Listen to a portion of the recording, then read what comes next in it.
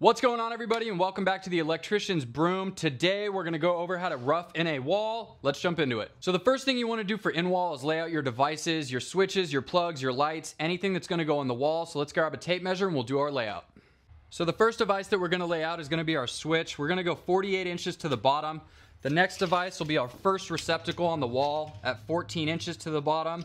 We'll do another receptacle over here at 14 inches to the bottom. I'm also gonna add a light up here around 75 inches and pretty much every case you're gonna have your lights in the ceiling but to show you how to wire it I'm putting it right here so you can see it. Now that the layout's done we can start our boxing. Before we install these boxes I want to show you these two lines on the side of the box. They're there for a reason to indicate how far back you want to install your box before you nail it off to your stud. Our switch box first 48 inches to the bottom. Go ahead and get the box lined up where you want it and then you can hammer it off. Onto our plug, 14 inches to the bottom, line it up, nail it off.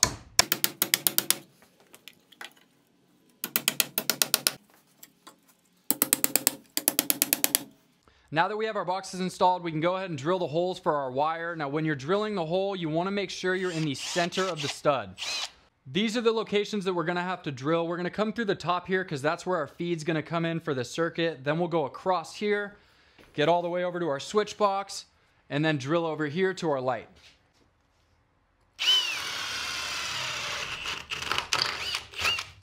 Now when drilling down low, do you, not, you do not have to be at the exact same height all the way down. What I like to do is place my drill just below my hip and keep it consistent.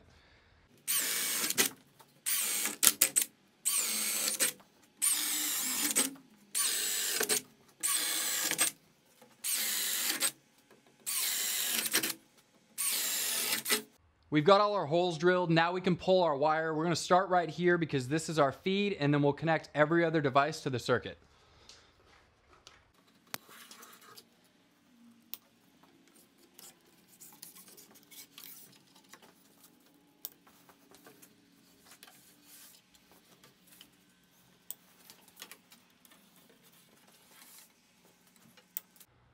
Our wire's in, now we can go ahead and land the wire inside of the box. Now in every one of these boxes, we have tabs in the back that break away. All you do is take a pair of needle nose, go ahead and punch them out.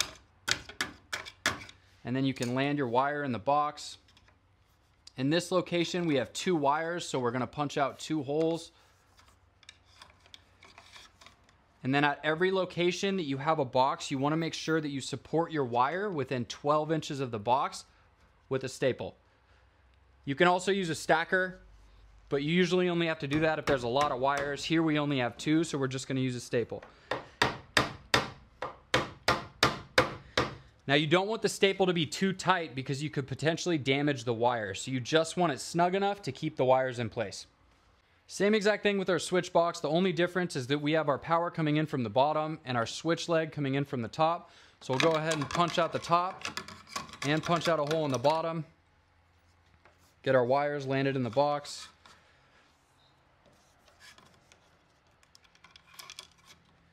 Again, support them within 12 inches of every device location. Get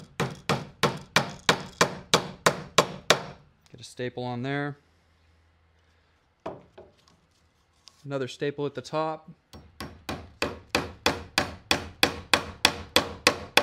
We need one up here as well.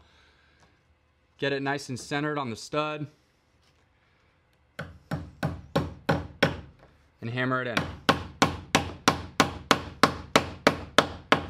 Quick recap of what we did today. So we came in here with our power source, fed our first receptacle. We jumped out of there to feed our next receptacle, came out again to feed our switch box. From our switch box, we have our switch leg that travels up to our light, and that is how you rough in a wall. Thank you for watching today. If you enjoyed the video or learned something, I would greatly appreciate it if you would like and subscribe, and I will see you in the next one.